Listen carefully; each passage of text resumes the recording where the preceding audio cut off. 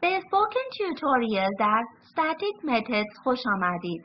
در این برنامه یاد می‌گیریم که Static Methods چیست؟ تعریف کردن Static Methods، تفاوت‌های بین Instance Methods و Static Methods و چگونه Static Methods را استفاده کنیم.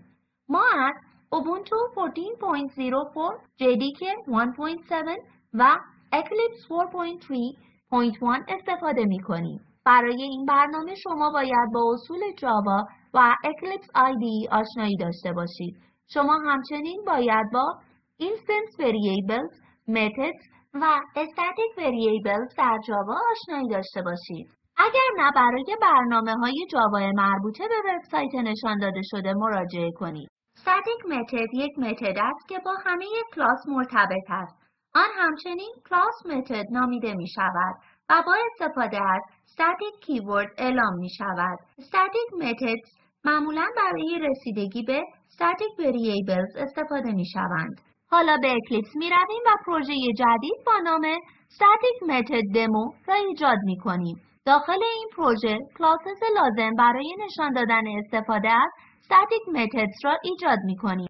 ما کلاس جدید student enroll را ایجاد می کنیم. حالا با یک مثال می‌بینیم که چگونه static methods را ایجاد کنیم. این مثال خیلی شبیه به آنکه در برنامه static variable استفاده شد می باشد. در اینجا دوباره student enroll class را نشان می دهیم. به یاد بیاورید که name و id به عنوان instance variables رسیدگی می شوند.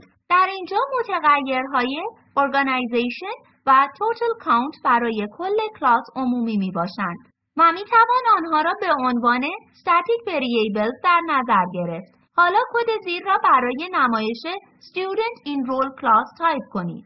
توجه کنید که دو static variables count و org name را داریم و org name یک static constant نمی باشد و یک static variable نرمال می باشد. static variable org name به عنوان IIT بامبئی شروع می شود. حالا Source را کلیک کنید و Generate Constructor Using Fields را انتخاب کنید. کلید واژه سوپر را از کد ایجاد شده حذف کنید. داخل constructor count plus plus semicolon را تایپ کنید. هر دفعه که object ایجاد می شود مقدار count افزایش می یابد. حالا method show data را به این کلاس برای چاپ مقدار متغیر اضافه می کنیم. پس public void show data را تایپ کنید.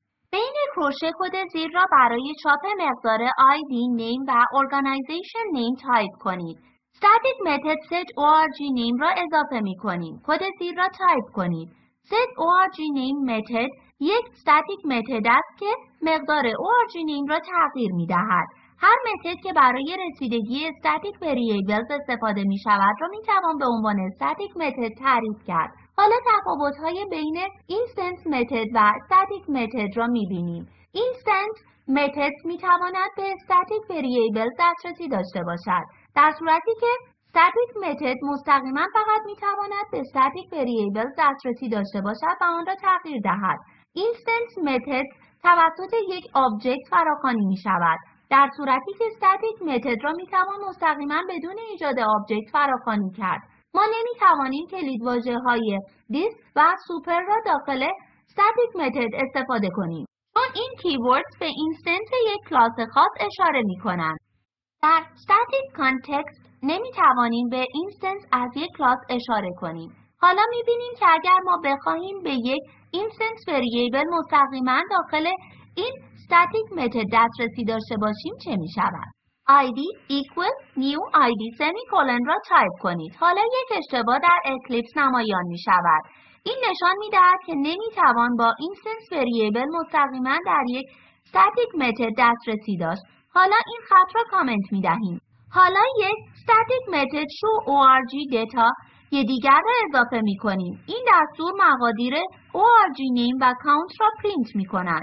default package را کلیک راست کنید و New class را کلیک کنید نام را دمو تایپ کنید در این کلاس ما main method را خواهیم داشت پس main را تایپ کنید و Control Space را برای ایجاد main method فشار دهید ما تعدادی object از student enroll کلاس را برای نمایش ثبت نام دانش آموز ایجاد می کنیم. پس کد زیر را برای ایجاد سه object S1, S2 و S3 تایپ کنید. حالا show data method را برای چاپ کردن جزئیات ثبت نام فراخوانی می کنیم. کد زیر را برای فراخوانی show data method در S1, S2 و S3 تایپ کنید. ما همچنین متد show org data را برای چاپ کردن مقادیر org name و count فراخوانی می کنیم. چون این static method است ما می توانیم آن را مستقیما با استفاده از class name فراخوانی کنیم. این کد را تایپ کنید. حالا برنامه دمو را run کنید. ما می بینیم که مقادیر متغیرها برای S1 که IT101 Adel and IIT Bombay چاپ می شوند. همچنین مقادیر S2 و S3 پرینت می شوند. توجه کنید که مقدار ORG نیم که IIT بامبی برای سوان S2 و S3 یکی می باشد. ORG و کانت جداگانه به وسیله static method show ORG data چاپ می شوند. توجه کنید که نام سازمان IIT بامبی چاپ می شود. مقدار تعداد ثبت نام دانش آموزان سه چاپ می شود چون ما سه object را ایجاد کرده ایم. static method مستقیما توسط نام کلاس فراخوانی می شوند. حالا static method set org را فراخوانی می کنیم. ما نام سازمان را از IIT بامبی به IIT مومبای تغییر می دهیم. کد زیر را تایپ کنید. حالا یک بار دیگر show data method را برای S1, S2 و S3 برای چاپ کردن جزئیات ثبت نام فراخوانی می کنیم. کد زیر را دوباره تایپ کنید. یک بار دیگر متد show org data را برای چاپ کردن مقادیر org name و count فراخوانی می کنیم. این کد را تایپ کنید. دوباره برنامه دمو را run کنید. می بینیم که نام سازمان به IIT مومبای تغییر کرده است. به اسلاید هایمان برمیگردیم. Object References را می توان به Static Method منتقل کرد. با این روش static method می تواند به instance variables از یک object خاص دسترسی داشته باشد. حالا این را در کد خود امتحان می کنیم. به Eclipse بروید و سپس به student enroll class بروید. حالا در set org name method یک argument دیگر را به عنوان یک object از student enroll class pass کنید. بعد از string org, student enroll s را تایپ کنید.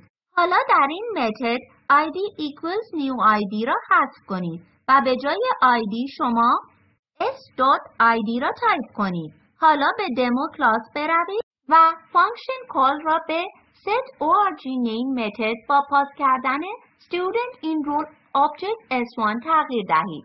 در اینجا بعد از IIT مومبای comma s1 را تایپ کنید. دوباره برنامه دمو را run کنید. می‌بینیم که مقدار ID برای s1 به new ID عوض شده است.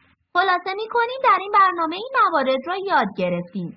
Static method چیست و چه زمانی استفاده می شود و چگونه static method و instance method تمایز داده می شوند و چگونه static method را ایجاد و فراخوانی کنیم. این ارائه ادامه ارائه static variable می باشد. مطمئن شوید که ارائه static variable را کامل کرده اید. ما در اینجا فقط تغییرات را مشخص می کنیم. در اینجا ما متغیر برای نمایش status را داریم. این برای نشان دادن که ماشین برای سرویس این و یا بعد از سرویس آوت است. ما یک متغیر دیگر برای نمایش number of cars out after service داریم.